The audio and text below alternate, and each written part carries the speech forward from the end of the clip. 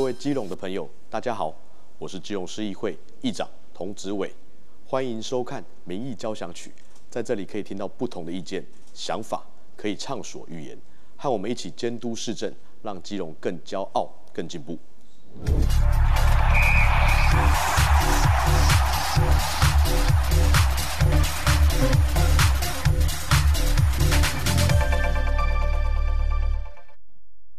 观众朋友，大家好，欢迎收看《民意交响曲》，我是蔡小军。在今天的节目中呢，为您邀请到一位充满创新的议长童子伟来到我们节目现场，要带大家一起来监督市政，一起来倾听地方的声音。我们欢迎议长。小军好，大家好，好久不见。嗯，议长好，很开心哦。议长今天一个人哦，要跟大家来分享一下他今年来所做的各项努力。首先，我们就来说说接掌议长这执掌以来，有没有什么样的创新作为？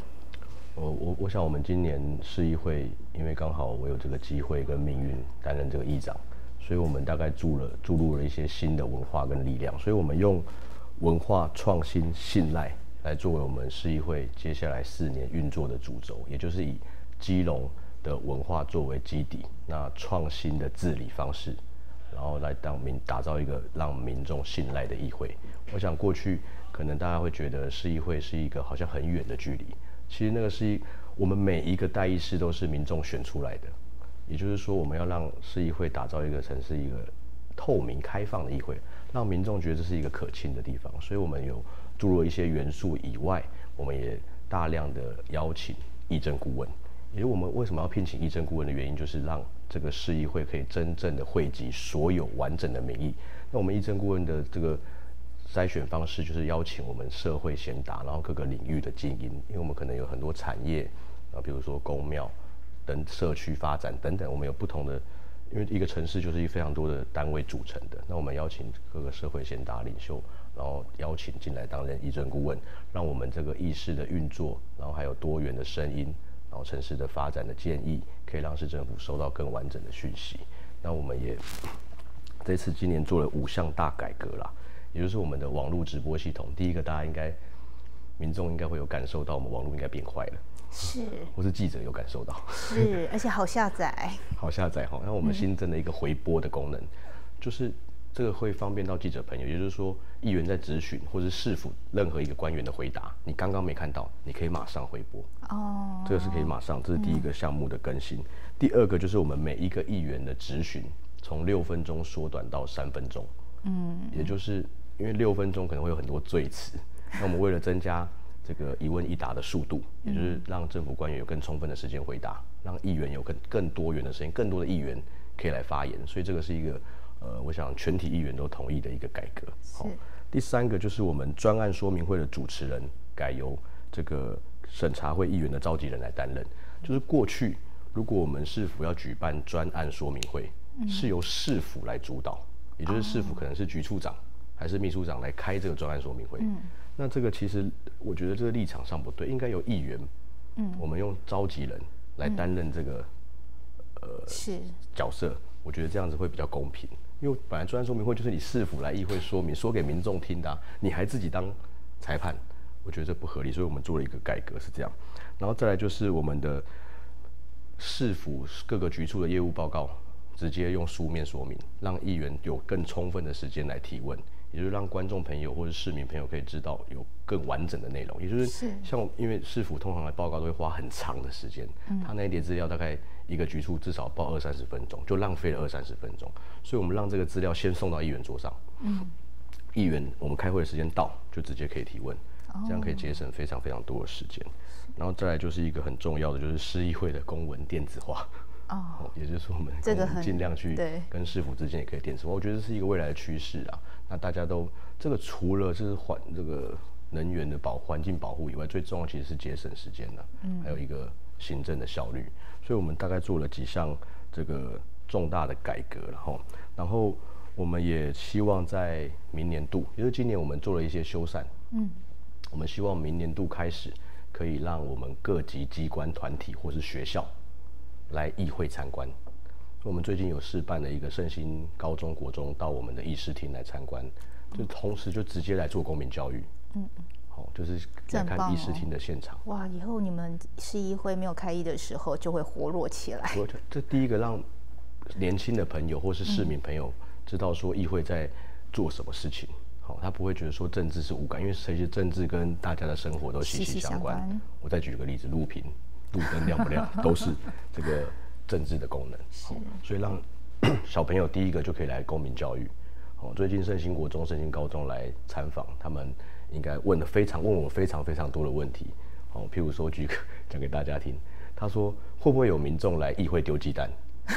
我跟他回答说不会，你知道为什么吗？因为我是帮你丢鸡蛋的那一个，我们是议员的角色嘛，所以这个是让他们也理解说行政机关跟立法机关的角色区别在哪边。所以我们希望未来可以大量的邀请我们的这个各级学校，从小学到高中、大学其实都没关系，到议会来参访。所以我们今年也赶快做了一些修缮，因为我们有一些民意馆的空间嘛，可以我们有简报，我们议事组会提供简报，让他们知道清楚的知道我们议事运作的过程，然后可以直接参访到议会。然后也可以从我们会做一个类似故事馆，然后介绍我们议会的一些详细的设施跟功能。我觉得它是一个让我们这个开放议会一个很重要的一个环节。是，哎，我记得是不是五楼那个空间也是可以让民众如果在开议的时候有兴趣的民众可以上去听？是，是不是五楼就是一个对，过去是要申请，你现在一样申请，我们都会直接通过。直接通过。就是我们在议事运作的过程中，只要是开议期间，你都可以来五楼参访。你就可以直接看着这个全体议员跟官员这个不带脏字的吵架，这样你们压力会很大。不过我觉得这样子，呃，也也让你自己的选出来的议员，嗯，看到让你可以看看他的表现，也可以看看官员的表现。我觉得这是一个很。正向的一个互动过程是，哎，真的哎，就在议长的带领之下，可以看到市议会有五大的新改革，然后未来还朝向教育方面，就是希望让我们的小小朋友、我们的大朋友、我们的中朋友，通通都可以进到议事市议会来，来看看我们议事到底是怎么运作，怎么样让我们的国家变得更强大、更好。那接下来一样哦，就是要朝着这个新潮流来进行，就是我们的永续环境。我们一块来看看金融的 ESG 永续。论坛，请启动！基隆市 ESG 城市永续发展论坛，邀请产官学研一起互动交流，目的是让基隆的产业能够永续，实际投入减碳救地球的具体行动。因此，这次邀请了许多企业顶尖人士与基隆产业领袖，跟各单位互相交流，凝聚共识。大家都知道，大庆是变变频空调的领导者，除了家用空调，其他的可能一些比较。其他像冰水机啊，或是其他的，也会达到提升五到十五 percent。那我们大型的 VRV 也达到了一百趴的一个所谓的变频化。论坛现场贵宾云集，基隆市副市长邱佩玲出席论坛致辞，另外包括议长童子伟、立委参选人林佩祥、官销处代理处长郭宪平、产发处长林鼎超，并由全家便利商店副营运长黄俊义。国泰金控投资长陈淑芬等贵宾分享七大企业如何来做 ESG，达成基隆共好、干净家园。哦，如何发展永续城市是我们一个普世的价值。哦，那现在政府的这个重要战略方针是近邻转型，哦，能源转型。然后我们在基隆，相当然也在我们的国家的一份子，我们大家也共同努力。今天非常感谢官销处特别举办相关的论坛，让我们的产官学研都有机会来大家共同讨论，希望辅导我们工业区在近邻转。型上面可以成功的转型，那我们未来发展蓝色经济、蓝色观光，还有我们的清创等等相关的产业，也都共同朝向这个目标。那我想，我们基隆是世界的一份子，我们会共同来努力。另外，论坛上也邀请在地创业青年品鲜鱼创办人王其顺、宇都漫步创办人苏小兰来分享青年回乡创业的历程与创造共荣。基隆市政府官销处期待借由这次论坛，凝聚更多的社会力量。就是凝聚更多的社会力量，让我们的基隆城市永续发展下去。其实我们的议长在这方面很多不一样的新思维。其实 ESG 代表的就是一个环境保护、社会责任跟公司治理。那同时城市发展就是我们基隆也需要永续来经营。所以我们在我们的城市规模其实不大，但是我们其实也有得天独厚的资源，大概概念是这样子，就是希望可以发挥我们山海城的一个重大的特色。那在环境保护上面，我们当然要跟上国际的脚步、世界的趋势，进行转型、进行排碳。所以我们不断的要鼓励我们在地的企业或在地的公司、行号等等团体，大家一起来努力。那我们大我们我们其实基隆未来有一个非常重要、永续的发展，就是发展我们的蓝色经济。嗯，就是未来我们蓝色经济会是我们基隆非常重要的一个发展方针。我们也必须朝向观光城市的导向来行往往前走，因为我们过去基隆港的发展就是以货物嘛，好，但是我们现在大概。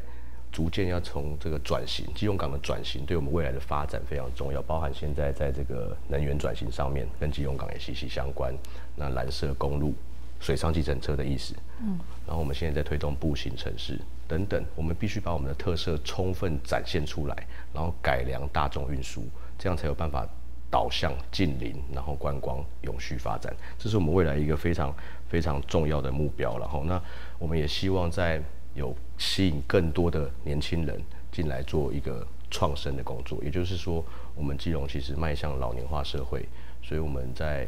步行空间，除了我们的环境治理上面需要把我们的公共服务水准的品质再次的提升，因为过去我们很早开发嘛，所以我们过去工业化的时代是用汽车为主的道路设道路设计，现在必须我们导向人本城市，就是用步行。城市来取代过去的工业化思维。那在步行城市的过程中，除了我们永续发展观光，步行也是一种经济。你让民众在走路，店家的生意就会好。好，那加上我们刚刚的蓝色公路，这会是一个未来我们的一个趋势跟导向，同时也照顾好在地的居民，也就是步行空间的完整建立，可以把老弱妇孺都照顾照顾好。所以我们在这一块。会有朝向一个永续发展的方式，大概有几个重大的方针。是真的，就是要找到我们基隆未来的那个城市定位，就是我们的蓝色经济，然后我们的步行城市，这对基隆的永续发展是很重要的。而说到步行城市，一定要带大家来看看我们的议长童子伟真的很用心、很努力的争取这一项计划，总共预计是三年嘛，三千七百万元的南龙路改建，我们过来看看。南农路即将进行第一阶段整体改造工程的地点，由于南农路是基隆通往台北的重要道路，为了让整体路况对行人更友善，对大小车辆更安全，基隆市议会议长童子伟特地向中央争取到三千零九十四万多元，以及向市政府争取到五百八十九万多，总共将近三千七百万元。针对南农路三九三巷到南新街口这一段，全长四百公尺，进行第一阶段整体改造工程。现在最重要，人本城市的人行空间做出来以后，我们再做逐步的调整。感谢议长啊，让行人有行的安全。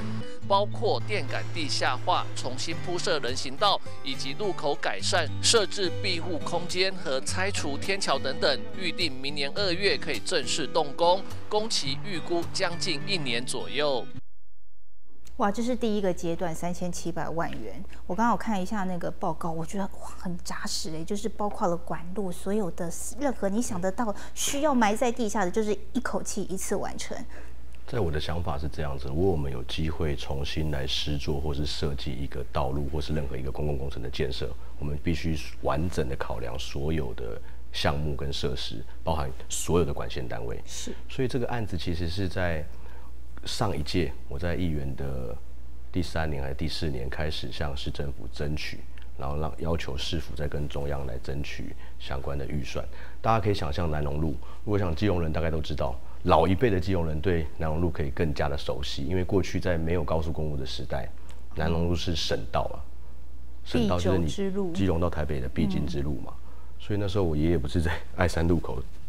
开了一家杂货店，因为你从台北回来就必须在这边买水喝，或是这是一个转角。所以南龙路过去的发展对老一辈是非常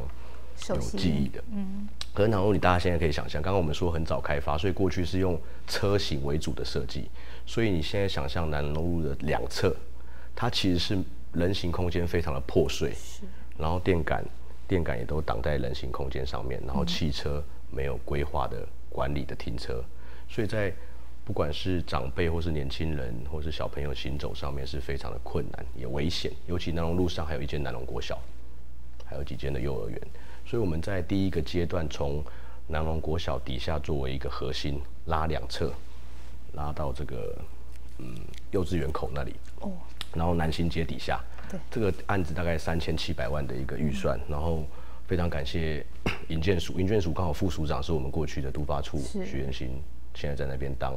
副署长。哦，他也帮我们核定的这个第一阶段的计划，然后我们市府也感谢市政府公务处的争取，大概配合了五百多万，所以第一阶段三千七百万在明年的二月大概可以顺利来动工。那我们预计一年完成。那我希望我在这个任内，我这个议长的任内四年，我可以把南龙路整段全长两公里的人行空间做一个完整的改善，包含沿路的电杆下地，嗯，然后我们的管线单位的重新配置。那我们设计的是实体的人行道，也就是我们现在有一些路很小的地方，其实我们上绿底嘛，哈，哦，我们上绿底那是行人友善，嗯，但是我们现在要的是一个安全的回家道路，也就是实体人行空间，上面就把停车，我们确实的把停车问题在人行空间以外把它设置好，这样第一个有秩序，第二个有规划，第三个也可以，你停车格会有收，政府有收费嘛，那我们这个。大家也不用担心我们的停车格收费，停车格收费我们是一个滚动式的调整，也就是我们会原则上会设计是夜间是不收费的，哦，白天在为了增加流动率，可以增加商业发展，这个是一个部分。那人行空间的实体电杆是下地的嘛，嗯，那如果中间那个天天天桥那个政府会再做一个最后的评估，到底南路上的天桥要不要存在？是。好，但是我们在这个道路的设计上会做一个重新的调整，就是我们在路幅中那个会把斑马线的那个路幅缩短，就是在你真的要过马路的这个地方，它会做一个扩大的一个地坪，让你过马路更安全。你在等红灯的时候也安全。这是第一阶段会做南龙路国小底下，第二阶段是往八堵的方向，南龙公墓以以内，然后到八堵这个隧道。大家应该对那个隧道也记忆犹新。我上一届也大力的争取，那这一次会做一个完整的，把那个人行空间做出来，让车跟人都有一个安全的保障的一个空间。隧道会大概做一个改改变。第三年，我们就希望在往爱山路口的这一侧来做这一段，把它完整的做起来。这一段做起来非常重要，但是也非常困难，因为有很多的在地商家或者是机车行，这需要沟通。这需要透过邻里的沟通来形成共识，所以我们先做南龙国小以下是等于示范，第一年就是明年会完成的第一段是一个示范的动作，最后一段在往爱山路的过程中，因为它有一些呃除了道路规划以外，还有一些商家，那有花圃，还有一些停车问题，那个需要拜托里长跟林长在在地来做一些沟通，这一段非常重要，因为这一段是衔接庙口非常重要的一个工程，是。未来如果我们捷运可以进到山坑。一路进到车站来，那个会是一个衔接，你你捷运可以下来，或者现在即便下火车往那边也可以来庙口嘛。对。那可以促进一个南龙路这一段重做起来，原因就是我刚刚提到的步行经济。不管你坐火车来，还是坐未来的捷运来，这一段走过来可以直接衔接仁爱市场，或是我们委托行一路到庙口，这是一个完整让南龙路重新发展的一个重要的一个契机。所以我也希望我们大家可以大家一起来努力。不管在沟通和凝聚过共识的过程中，可以让这个工程可以顺利。总共总总共三年，大概一亿多的经费，希望可以来完成。我觉得你真的很厉害，就是真的很努力在争取，然后很期待南龙路整个人行步行步道的最主要的示范区域。对，那除刚刚就说到，呃，人行步道这样子直接进入到我们市区，可以进到我们庙口。还有一个很重要的地方，就是我们的博爱仁爱市场，这也是美食的天堂。不过也是被民众诟病说它里面的一些设施老旧。我们议长童子伟也非常用心，也争取经费来进行改善。仁爱博爱市场一楼猪肉摊区的天花板因为老旧钢筋锈蚀裸露，水泥块剥落，危及底下做生意的摊商以及采买的客人安全。因此，在基隆市议会议长童子伟向市政府积极争取下，将耗资八百四十万元重新修缮，另外也争取到一百五十万元太旧换新这个市场的货梯。那我们因为从民国七十几年更新到现在，也非常非常多的设施非常老旧哈。那这边也是我自己住的地方，所以我们特别关心仁爱市场的发展。我们仁爱市场哦，将近三十六年了哦。那有些东西都是老旧、老旧化的屋顶哦，然后石头剥落哦。市政府产发处市场及商业发展科长吴国伟进一步表示，猪肉摊区天花板会剥落的地方已经都先处理过，暂时不会再掉落水泥块。明年也将紧速发包修缮这里的天花板。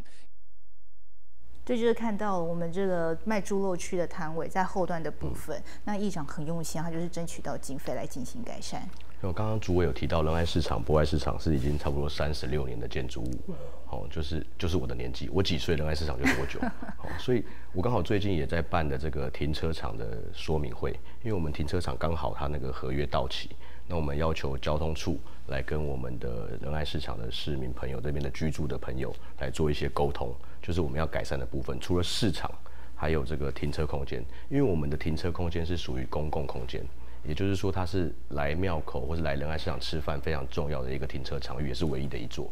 所以在流动量其实算大，流动量很大。所以我们在道路的设计、居民的沟通，我想交通处都身负非常重要的一个责任。那我们现在提到市场，就是说，因为市场它也是一个非常久的一个设施嘛，在一楼和二楼。那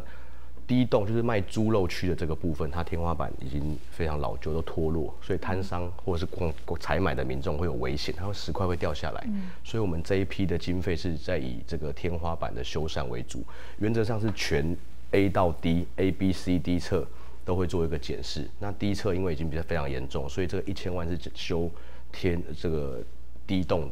猪肉区底上的上面的这个天花板，保障民众安全。然后还有一百多万是做这个。一二楼的电梯，这个电梯是给这个运送用的，就是我们那些大，我们二楼，因为我们二楼有那个，对啊，货梯我怎么想不起来？我们二楼 二楼有那个美食区嘛，那有一些，所以我们那个货梯是也很重要。因为我们二楼现在生意非常非常好，近几年仁爱市场已经成为基隆美食的一个重要指标，所以我们必须赶快来改善我们的基础设施，让不管是外地来游客还是我们在地的居民，他在。采买或吃东西的这个饮食空间，它会是感受到一个舒适的，所以我们现在应该积极的会把 A、B、C、D 栋相关的基础设施要求产发处逐年编列相关的预算，把它完整的做起来，包含我们未来。我最近刚刚我跟谢市长有碰到面，就是刚好在一个活动上面，我也跟他沟通了一个，他也很认同，因为仁爱市场他自己也蛮常来吃的，然后我们希望说把仁爱市场。在这几年，把它做一个整体的改善，也就是大家如果有去仁爱市场，会会有印象说，我们仁爱市场周边的那个地坪，它其实是不防滑的瓷砖。哦，有没有有没有记忆？下雨天很容易，下雨天很容易滑。可是那是过去三十六年前的设计嘛。嗯。所以我希望利用这这几年的机会，我们中央跟地方，我来跟中央来争取经费。那谢市府希望市长可以配合，产发处可以配合编列相关的预算，我们把周边的道路设施也一并做好改善，就是我刚刚的步行经济的概念。是。然后周边的水沟也一并做重新的施作，因为过去那个水沟都比较那个浅呐，所以我们就一下雨就冒出来。对，加深加宽，我们要用现在的雨量来重新评估我们水沟的这个防这个泄水坡度等等的，一并把周边的环境做改善。我希望。在这个任内，在这个这个议长任期任，可以把仁爱市场周边的环境一并整理好，但同时都不跳脱那个步行经济的概念了。是，哎，真的很重要，因为大家一想到下雨天要想要出来，其实很困难，就是路会滑这件事情，而且老人家有时候一出来一滑不得了。我刚好提到停车场，因为很重要的指标就是它，他是停好车，然后上去采买或者是吃东西，是，所以停车场往市场走的这个指标系统。我们也会在明年停车场重新招标新的厂商之后，我们会要求产发处、交通处、官销处相关单位共同来把我们的指标系统做好。也就是停停车场一出来，你要往庙口，你要往夜市，你要往仁爱市场，你要往采买区，都会把指标系统重新做一个设计跟规划，让民众是有一个更安全，然后也更舒适的体验。来基隆的感受就不会是过去的老旧昏暗。是。它会是一个崭新的，对。那我们道路重也要重新规划，就配合人行道的设计嘛，一并。大概我们整个仁爱区大概接下来会就是明年开始会以仁爱区为仁爱市场作为核心改造周边的设施。是，哎，真的好期待哦！以后这个仁爱博爱市场就是一个很亮丽的一个指标。而说到指标，其实最主要就是要发展我们基隆地方的观光经济嘛。那基隆市。政府其实推出了一个港景乐园，然后在编列的预算当中，在市议会当中这个蓝绿争持当中通过了。我们一块来看一看这是什么样的一个计划。议员们都非常关心市长谢国良到底要在这里设置什么样的摩天轮呢？不过，几乎所有的议员们发言过一轮之后，市长答询时表示，目前没有决定要设置摩天轮还是任何设施，都还需要再评估。包括很多港口城市的一个基本上的一个地标，其实在国门广场设置一个游具。搭配一些展览，还有一些艺文表演活动，应该是一个很可以考虑的一件事情。至于说游具是什么样子的游具，哦，到底是说所谓的摩天轮，还是旋转木马，还是什么样子的游具？我觉得这个还是要有待这个专业提出各项的一个评估。这下子反对的市议员更不能接受，表示没有具体的内容和营运计划，要求删除全部预算。这个地方能够完整的建制，我觉得这两千三百万，它是长久的建设，反而会是我们地方民众，甚至是基隆市民，尤其是年轻的市民，甚至儿童的市民，更加殷切期盼的一件事情。然而，你这两千三百万就在这三个月、四个月烧完了，而且这烧完了之后，真的对于我们基隆的儿童来讲，留下了什么？我觉得完全看不出来啊！从你的这个说法里面，完全没有觉得你要留下什么样的东西。进军儿童安全文教基金会，我相信市长应该有接触也认识。但是他们在二零一八年的时候就持续在要求，是说移动式邮局暗藏危机，所以他不管是针对法规面、针对安全面、针对市府的立场上面，都要多加评估，不然一旦业者租了、花钱来了，最后造成危险之后，谁要负担？由于僵持不下，虽然主席基隆市议会议长童子伟一度先提出删除三百万元预算的建议，看看支持和反对的议员们能不能接受。不过这项提议并没有获得双方议员们的。支持，因此中场休息五分钟协商时，市长谢国良更是直接走入议场内，挥手指示支持的议员们不能被删除一块钱，要表决就表决。因此恢复开议后，议长童子伟宣布直接举手表决，最后由市长谢国良率领支持的国民党无党籍以及亲民党议员联盟，以十七票对十票强势碾压反对这笔预算的民进党及无党籍议员联军，通过这笔。两千三百万元预算，这笔预算就通过了这个基隆港景乐园。因为一开始听到的是要搭那个摩天轮，对不对？后来又进行不断的修正，然后变成了现在这港景乐园。那我要请教议长，这到底呃通过了预算，然后这一个对这一样的建议有什么样的看法？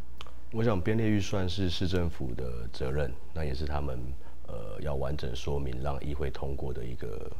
使用方式嘛，吼，这是民主国家。那我想大家也不用污名化政党协商。我想把这个简单的过程可以跟大家描述一下。当然，最后大家看到的是一个表决通过的一个现场，然后这笔预算通过。那大家会有认同跟不认同的声音。那我作为议长，其实我是一个不同党派沟通的桥梁，我就是一个桥梁跟平台。所以我是在希望在我们的议会，不管哪一笔预算，它只要有争议。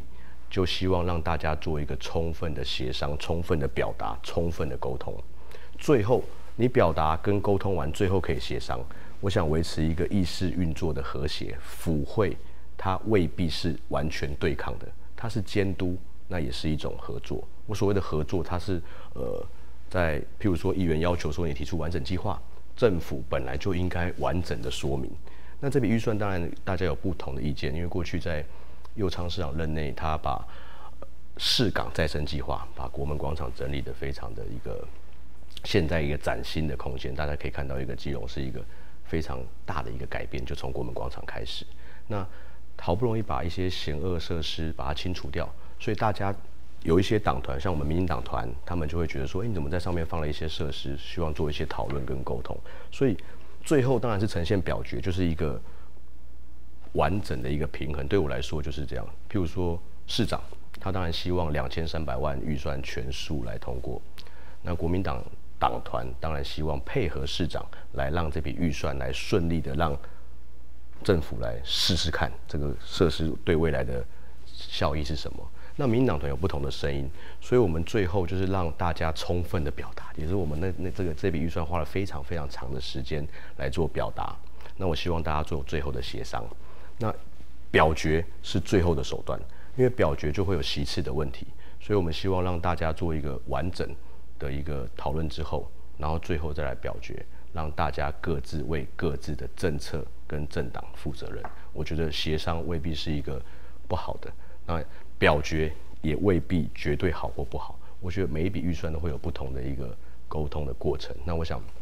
我们作为一个桥梁，就是希望大家都充分表达之后，会有一个最完整的论述，让大家各自的民众或是各自的政党、各自的支持者都可以看到我们各政党的议员表现。是真的，这笔还有另外一个，我记得当天也讨论的很激烈，就是我们的基隆城市代言人，这也是一样在争议当中过了，对不对？呃，城市代言人是这样，因为 因为刚好这两笔预算市府在他们的报告上面没有很完整的说明计划，好，所以当然会不同党派又会有不同的声音。那包含其他县市它编列的预算多少，譬如说直辖市编列多少预算，那我们省辖市的规模编列多少预算，所以这一样会有非常多的讨论过程。那我想那那个那那天的情景是两千三百万的港景乐园在上午，那大家就。不能说吵得非常激烈，沟通的非常热忱，然后下午就进入这样的状态，所以大家会有一种比较高张力在审核这一笔预算，所以我们的角色一样，作为一个桥梁，让各党团充分的表达意见之后，再给大家时间做沟通。你要删减多少预算，还是当然市长一样希望全数通过嘛？那民党团希望的是有表决的效果。民党团希望说，我们表决就是告诉他们，现在在选，大家现在在选举，可以各有各自的政治的需求，他们一样表达全数反对。那国民党团当然是全部举手来通过这笔预算。我想每一笔预算透过这样沟通的协商过程，它就是一个民主了，也就是地方的议会跟国会其实概念是一样的。那国会它会有更复杂的运作过程，因为它有各党各派不同的声音跟意见，然后会有很多的团体在关注我们整个法案，因为那是国家发展，所以有更多人的关注。那城市的发展呢？其实我觉得吵成一团未必是一个不好，这就是一个民主机制跟价值，也就是我们市议会价值的存在。是，哎，真的就是落实，就是公民。公开透明化，让大家知道，哎，你是赞成还是反对？但不过多数已经赞成了，那我们就期待未来的计划。那当然市议会也会直接负起监督的职责。我们在这个预算，我们都让，因为是表决的结果，我们尊重让这笔预算通过，但是我们会有附带决议，希望市府在明年三月，也就是在开议之前提出完整的说明计划。我想我这样子下去的结论，我预算通过了，然后也。附上你必须把完整的计划做说明，还有使用效益跟未来的规划，这样子做完整以后，大家都可以接受，让这笔预算来顺利执行。那我觉得这样就是一个我现在担任议长的一个角色工作。是，哎，真的当了议长真的很辛苦，很不简单。对，然后很多角力都要平衡到。那当然了，关怀弱势这一件事情也做得非常的，呃。一定要让大家可以看到我们基隆城市善的力量。我们一块来看一看创世基金会。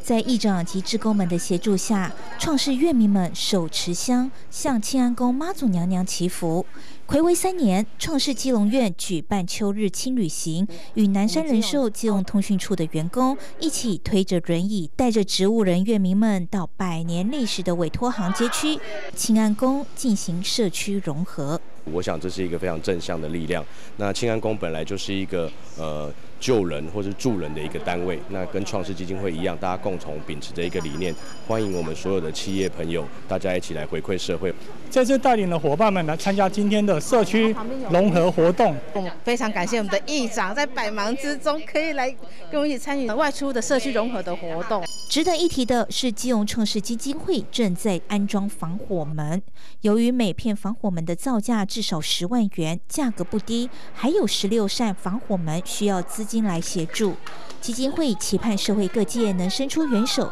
守护院民们的安全。这就是要让善的力量不断的循环，那关怀弱势，实际付出。我们要请议长来跟大家分享一下，其实，在我们基隆很多角落弱势的声音，现在开始慢慢的被温暖、被关怀到。我们也要感谢我们大众媒体的这个报道，让我们在各个不同的公益团体来呈现他们的这个善的力量，也可以透过这样的方式宣传，让我们有更多的民众去呃发现我们社会团体的爱心，然后进而去投入。所以，像创世基金会在这二十年来照顾了我们非常非常多的植物人。刚刚影片有看到，刚好创世基金会在清安宫附近，那我们他们也利用是个好的天气带他们来清安宫拜拜。那其实是让他们出来晒晒太阳。那我也去陪同。其实我看到这个画面，其实是很感动的。因为其实创世基金会照顾植物人的本身，同时也照顾到了他们的家属。因为真最难过或者最困难，其实是家属。所以我觉得这样透过这样的宣传，然后透过大众的力量的捐款，可以让我们的这个院民，或是不管各个机构，其他有很多的机构嘛，包括老人养护中心等等的，他都会受到关注跟重视。那我们就有更多的捐款，把我们的这个老年化社会的需求照顾好。我觉得这是一个很感谢我们媒体的报道的一个非常好的机会。那我们基隆其实也即将迈入超高龄社会。超高龄社会就是每五个人会有一个人是六十五岁以上的，也就是说六十五岁以上在基隆搭公车不要钱嘛，五个人就一个人搭公车不要钱，所以我们必须把我们的基础设施做好。就是在我们小时候那个阶段，其实大家会非常大量的投入幼稚园，因为小孩子很多，小朋友很多，我们一般可能三四十个，好四五十个人。那现在一般可能都一二十个，也就是我们需要建立的是老人的幼稚园。也就是长辈他在老化了以后，他有一个在地老化的空间。在地老化的概念是什么？跟大家说明，也就是你可以在你家附近、你的社区附近，就可以到一个机构去，也就是现在俗称的日照中心。它其实就是老人的幼稚园。你把他送到在地这个，他因为他在在地，他会很熟悉感嘛。他就在在我们目标，中央政府的目标是一个学区一个日照中心。也就是说，一个国中的学区，它就有一个日照中心的时候，你可以在你家附近就有一个长辈可以相处相聚的地方，那会有很多人来照顾你。然后下班的时候，你的子女再把你接回家；早上上班的时候把你送过来，下午上班的时候把你带回家。我觉得这就是我们未来的一个趋势。我们现在中央跟地方，大家都用得到，所以我们中央跟地方其实大家在努力的在争取相关的经费。大家共同努力来找空间，让照顾我们好老人嘛。好，所以现在在蔡英文总统任内，已经把长照预算一年提升到六百五十亿。嗯，在马英九总统的时代是七十亿，现在是六百五十亿。就是未来如果我们赖清德副总统有机会当选总统，长照会提升到三点零。会达到八百亿的标准，也就是希望把我们的这个全国的老人，包括我们基隆，希望我们基隆距离一个学区一个日照还有很大努力空间，因为我们腹地不够，空间不足，所以我们积极的希望透过政府的公共空间的释出，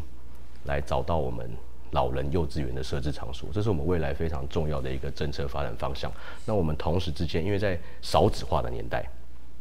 我们上班族，因为我们基隆很多都是双薪家庭。同时之间，我们也非常多的呃小朋友，他需要延长我们的幼儿的照顾。也就是说，你送去幼稚园，我们中央政府现在补助你。譬如说五点本来幼稚园老师下课了，你需要一定要来接。可是很多人在台北上班呢，对，来不及。希望可以延长时间，晚上晚上的时候六七点七八点的时候再回来接小朋友。我们中央政府也都提供补助，在这一块，基隆市政府其实做得很好，嗯，也就是我们的这个。开办率都非常的完整，也就是很中央政府的补助实际到位，让我们的民众实际有感觉。所以，我们现在中央政府的目标就是从小孩到老人一路照顾，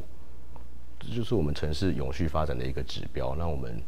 基隆目标就是一个宜居友善的城市嘛，所以这是一个很重要。未来如果搭配我们的社会住宅，搭配我们的捷运系统，我觉得金融发展还是呃指日可待。是哎，真的哎，就是刚刚说的这个老有所托，然后幼有所顾的时候，每个人都可以让自己活得非常的有品质，那金融就会变成一个很宜居的城市。那说到这个，我们国家其实最重要的还是要战力。那现在很多都是说运动就是战力，你体育发展的越好，你这个国力代表是不是就越强呢？我们一块来看看我们的三对三养育金牌回到母校。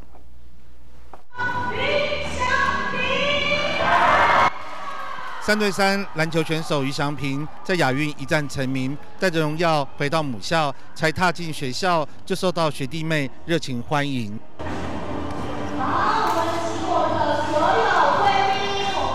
市长谢国良送上特制版篮球，而对于基隆目前还没有亚运夺牌相对奖金惯例，当场指示教育处两周内严议办理。市长也非常关心，因为台中有好的奖金制度，哦，那基隆目目前为止还没有一个固定的惯例。那议长这两天非常关心我这个事情。出席活动的议长童子伟和于祥平及教练徐伟胜都是多年好友，特别准备十二号球鞋送给于祥平。我们今天特别准备了一双球鞋要送给他。其实基隆买不到十二号的鞋子，因为基隆很少这么高大的选手。他们的教练伟胜穿十三号。就国中国二我认识他的时候，他其实我就觉得他协调性非常的好。那基本上，因为他你看他的身高，他国中的时候在基隆是打中锋啊，到高中去慢慢逐渐的转型。我想后来现在大家可以证明，我们未来这个选手转型的非常成功，也希望他未来可以在职业队可以好好的发挥。那我们基隆也希望未来有机会可以引进职业队来进驻。那希望祥平未来就是我们基隆的代言人。难得回到母校，于祥平和议长童志伟亲自下场，和明传国中学弟来个一场友谊赛，双方比数一度追平，最后在议长童志伟拿下最后一分，获得胜利。要从兴趣变成专长是一个很困难的过程，那在于你投入这这项活动，你付出了多少心力。那我觉得基隆应该有更多这样的人出现。哎，基隆真的越来越厉害，近年来的这个体育表现都非常的亮眼。那当然，我们的环境设施、我们的体育设备也要有所提升。我们来请教我们的议长。其实我们基隆在体育设施跟体育环境上面还有很多很多努力的空间。然后，因为可是我们你看看刚刚的余祥平，他在民传国中毕业之后有这么好的发展跟表现，所以我们在鼓励教育处体育健科这个过程中是。我们必须把我们每一个学校的环境发展好，也就是你必须清楚的定位每一间学校它的体育发展的项目。像现在民传国中在篮球表现上非常的杰出，在徐伟生教练的带领之下，学校也全力来支持。那我们政府就应该全力来支持他，这个资源是不用分散的。嗯，也就是我们现在在少子化的年代，我个人的想法也建议了教育处。我们在少子化年代，学校的学生人数都非常的少，我们必须集中每一项体育资源到不同的学校去。如果民传就是篮球专心发展篮球，嗯，他还有桌球，我们就专心的投入这样子的预算跟这样子的规模帮忙下去，把他们环境设施改善好。我也帮他们盖了一个风雨球场，帮他们争取了嘛。好棒哦！那我们哪一间学校？譬如他，我是跆拳道的主委。像基隆女中，我举一个例子，也就是说，我是主委，我我主委的项目还蛮多的。我们过去有一个刻板的思维，就是国立基隆女中、国立基隆高中，它不是我们市属的，也就是不是基隆市的管辖范围，所以我们在体育的资源上就好像是切开的。基隆女中在这边，可是它好像不在基隆，因为我们政府基隆市政府并没有。好好的去规划这些体育选手，所以我们现在接下来我担任议长这一年，我已经非常清楚明确的表达，这个体育发展必须做一个完整的三级衔接，不分国力跟势力，让这个资源可以更丰富、更完整的照顾到每一个单项的小朋友跟选手。国小、国中、高中，对，大家都说体育强就是国家强，嗯，所以我们这几年其实国家的体育表现就是我们国力的展现。那我们基隆市的体育也必须透过我们，如果体育发展好，代表我们的城市发展是正向的，而且也是让我们的运动风气可以持续的提升。其实篮球刚刚提到这个篮球，我们过去产生非常多的国手，其实基隆也是篮球国手的摇篮，大家应该印象都很深刻的林志杰，他就是我们基隆市篮球代表，对不对？所以，我们如果在这个篮球环境上，我们最近就是积极的提升国立基隆商工篮球队。因为我们国中已经有名传国中在乙组表现常年的冠军嘛，对，好，那我们的国小端也需要找到一个有专任教练的学校，然后来衔接。如果国小端、国中、高中，我们市属其实不用再投入太多资源，为什么？因为国立金融上工在了，所以我们只要协助他把这个资源完整的衔接起来。HBL 最近是用上工打进的十六强，对，很厉害。所以我也到学校去关心他们，所以我其实。好，我其实个人非常喜欢篮球运动，虽然我长不高也很矮，所以我就把这些希望都投入在这些小朋友身上。那我们希望培养更多的国手。那我们最近前阵子大家应该有看到 PLG 的这个直男啊，对，来我们基隆打热身赛。那我们今年其实也跟市政府也争取了 SBL，在基隆。SBL 今年会有两个礼拜的比赛在基隆打。我们就是希望把这个三级制建立好之后，让我们的学生运动看到职业的水准跟职业的规模，他有这个向往，那这个小朋友就会有一条龙的一个。我们希望透过体育来发展我们的城市观光跟城市经济，透过这样子让小朋友有一个目标追寻。他如果很用心打，好好的读书，好好打球，就有机会打到自然。这就是一个憧憬嘛。然后以譬如说以字节作为目标，还是未来我们希望可以争取一个职业队直接进驻到基隆，它可以同时兼顾的经济观光以外，也可以照顾到我们的三级运动。是，我觉得这每一个单项这就是体育经济耶。体育经济，体育经济其实很吓人呢。你看那个 p r o g 他来热身赛，那个电视转播的效益有多多多惊人。然后你看一场比赛有四五千人，但是我们政府必须把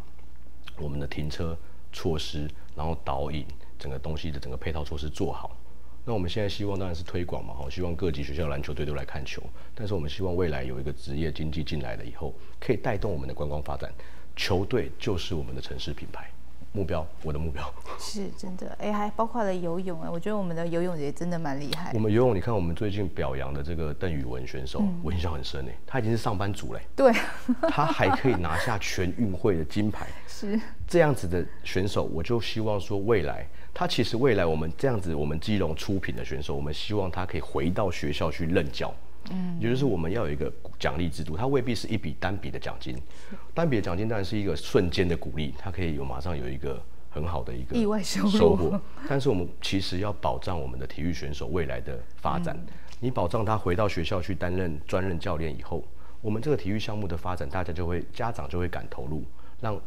自己的子女去投入，因为看得到未来，因为有未来，他可以保障他未来的生活。我想体育的发展绝对会越来越好嘛。那我们除了补助现金以外，我们在比赛的环境上面可以提供更好的一个帮忙，也就是譬如说防护员啊，还有比赛选手需要的一些需求。这未必有时候是花大钱啊，是这个制度的建立。我们只要把这个制度建立好，就像我们刚刚议会的治理一样，制度建立完整，它的发展就会慢慢的上轨道。那体育也是这样子，我其实非常重视各个单项体育运动在基隆的发展，所以我们同时也都在要求把制度建立好，环境建立好。我们中央的资源一挹注，像现在基隆高中在跟我们中央争取羽球训练中心，我也大力的来帮忙。如果羽球训练中心可以完成，我们未来基隆高中它就是一个亮眼。对基隆高中来说，它可以吸收非常多的羽球选手。那对我们基隆来说，就是一个城市宣传，是，所以我觉得这是一个可以互利的过程。所以，我们基隆高中，我觉得他砸出成绩，我们要求国中端要有羽球，要有羽球的发展。嗯，那羽球发展不见得它是要一个体育的专班，我们只要投入资源，给好的教练，再用社团的模式慢慢经营，我想它就是会一个是一个正向的循环，把这个三级衔接，其实比其他的方式。是啊，没错，而且重点是可以看得到未来这件事。那说到看得到未来，我要带大家来看看我们的委托行。我记得很早之前呢，我们的议长其实就进驻了委托行，然后不断的劳动，然后有不断的新火花出现。那这一次呢，又结合了 USR 中华科技大学，他们直接进驻，为委托行设计不一样的新风貌。最主要就是要让委托行可以有新的生命力，重新出发。一块来看看。中华科大社会责任实践计划结合基隆委托行街区在地团队，共创基隆，提出三个空间改造提案。让我们的建筑系跟我们的室内设计系的等相关的，好这样子的一个议题议题来推动，在第一阶段我们在灯光在啊造景的部分的一个改造，跟第二个部分我们针对在系统化的一个设计跟改变。空间改造提案包括了改变现况杂乱的十字街区，创造梦想招商动力的荣盛委托行，以及十座木构架之美的福气委托行展示馆。不一定是完全重来，我们可以来做，我们称之为叫整件维护，可以有一点比较是整件性的来做这样的一个空间的改造。将课堂学习延伸到创作实践，学子在荣盛委托行推出无人泡面店，结合智慧科技，赋予招商新选择。我们整个店四平大小。无人，我们把墙全部打通，欢迎你二十四小时随时来。期望以大学师生的专业能量，提供在地更多的未来空间。深耕多年的委托行街区公司，肯定也感谢中华科大的设计计划。我们其实基隆比较缺就是室内的这个空间的一个设计。那我自己本身在呃这个营造委托行街区的时候，也发觉我们其实需要有一些空间的设计来带进来。那刚好这次呃有这样的一个机会跟中华科大 USR 计划合作，那他们呃透过学生的创意、老师的指导，那创作了一些呃发想还有模型，那这些我们都觉得非常好，也希望作为未来跟街区的邻居们、呃长辈们沟通街区未来发展的一个很重要的基础。那希望这样的一个计划可以一直呃延续下去，那并且获得支持。在基隆为行动基地 USR 计划展成果发表会上，议长童子伟亲自参与肯定。多年前他就进驻扰动，期望赋予委托行新风貌。我们要创造出一个新的特色，让民众愿意走进来吃日本料理、关东煮，还是喝喝咖啡，然后到酒吧走走，这会形成一种呃风潮跟文化。我想我们要创造的是一种这种价值，它不会是虽然名称还是叫委托行，但它不是回复到委托行的概念。委托行就是一个青年文创的返乡园区。那我想我们透过各单位的协助，那年轻人的投入，那今天谢谢中华科大这么投入的支持，那让学生来发想，我想它会是有一个新的创意展现。新创意的投入，再加上地方资源整合，期望吸引更多的在地居民与观光客来到基隆，爱上基隆。真的就是要爱上基隆。我们从这个委托行可以看到不一样的新动力在扰动，让基隆有不一样的新亮点。我们要请教一种投资位长期投入。好，委托行发展，其实我跟小军共同大概采访了五年吧，非常谢谢你的帮忙。那委托行过去就是基隆的光荣嘛，哦，它是一个过去专卖舶来品的一个街区的文化，所以它的 DNA 一直都在。所以我们这几年其实导入了非常多的青年创业，那希望它变成一个青年返乡的文创基地。委托行的名字还在，有保留它的历史文化背景，但是带入新的资源是我们接这几年的目标。那未来我们希望可以投入更多的一些呃创意，我们会建议街区的发展如何来，然后请产发处用活动的包装来设计未来的呃一些节奏，还有未来的一些文化新的力量。看我们现在日本料理的文化，还有酒吧的文化、咖啡的文化，还有一些日式料理在。委托行其实都非常的呃生意非常的好，那也非常的活络。在夜晚的委托行其实是一个我觉得基隆少见的一个街区文化。那其实我们希望带入的价值就是它是一个呃年轻人喜欢来的地方，也就是我们如果要打造二十四小时的观光不夜城，我们在白天可以去去我们的风景区，包含我们的炮台，包含我们的海呃外木山啊、草径公园、海科馆、和平岛等等。但是在下午你可以进入基隆庙口，中午在仁爱市场，下午在基隆庙口，晚上还可以导入在委托行，半夜可以在卡马店。对，所以这就是一个我们基隆其实独有的一个文化。那我想委托行它是一个很关键的一个创生的场域，因为我们投入也非常多年。呃，那现在的发展，我们觉得可以导入更多的创新思维。我们希望未来可以让更多的年轻人来投入他们的创意，因为年轻人的创意其实是非常可怕也无限的，有时候没办法想象。像一开始我们。讲这个案例，就是一开始我们的挂包来租我们的委托行，说我们这个房东太太呢还很担心说，哇，挂包一颗卖十五块，我租你，你可以活多久？这是他的疑问。可是你看看现在，他用这种文化导向带入了，后来出产生，就算即便疫情，他融入了 o o Panda，融入了 Uber E，他的生意他现在，他现在就是变成来委托行。吃挂包就是委来委托行的一个象征，也就是你去基隆庙考吃什么的代表性，来委托行要吃什么的代表。我觉得这样子就是一个很好的文化。主我们希望让更多的年轻人投入这个产业的转型，也就是基隆，它其实也是一个具有流行文化，然后带有历史感的地方。它创造了一种感觉出来了以后，它未来的发展就是我们的创生嘛。未来发展再带加上我们刚刚不断讲，我们这几年一定会大力的推动步行经济，希望未来在减少大众运输之后，就是减少私家运具啦，增加大众运输及步行的空间以后，我们让这个步行经济把整个市中心都变成一个商圈，就不用分委托行，不用分仁爱市场，不用分庙口，它就是基隆市区就是一个商圈的时候，它绝对是一个非常好玩的一个地方。哎，真的也可以看到委托行带给基隆市有很多不同的亮点。那刚才结合了未来的想象步行城市的计划，那基隆就会越来越不一样。剩下最后两分钟，有很多话要跟观众朋友说，对不对？好啊，呃，我想，呃，这段时间以来，我就任议长之后，其实带着战战兢兢、忐忑的心情，在担任市议会议长的一个工作。那我们希望，其实这个一个政治学家韦伯，马克思韦伯说，一个政治家的条件有三个：热情。判断力跟责任责任感，所以我们希望用这三个元素去把我们政治的文化塑造出一个崭新的一个风貌。那我要利用这个机会，也公开感谢我们议会的所有职员，所有的我们的这个同仁，因为有大家的运，每一个螺丝的运作，让我在议长的工作可以推动的非常的顺利。那我们也希望我们持续保持着一个学习的心态，来跟各党派做沟通，希望让我们的。不管在大家的意见不同或极端，都希望透过一个民主协商的过程，让我们基隆的城市发展、议事的运作，还有政府的运作都可以更顺利、更顺畅。我现在才发现，其实担任议长工作以后才发现，其实议会跟市府的一个运作机制非常的重要，要相辅相成。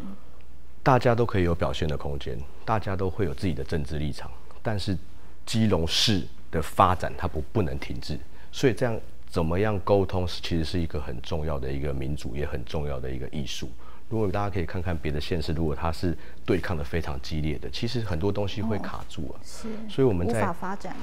整个民主协商的过程中，如何让议事跟政事都持续的运作，